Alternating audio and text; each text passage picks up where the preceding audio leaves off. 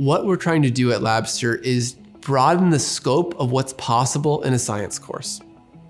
Things you cannot do in a physical lab. Things that can't happen in a textbook or an online homework platform.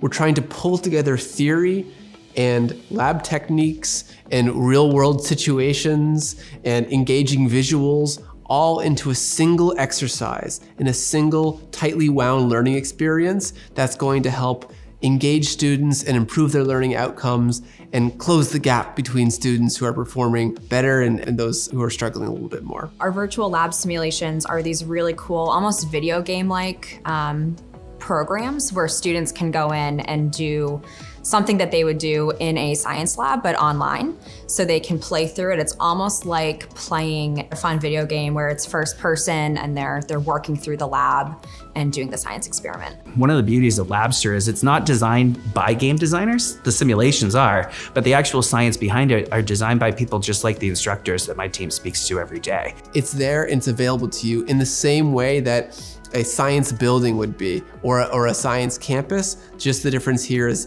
this is in the cloud and students can access it just with an internet connection from anywhere they need to.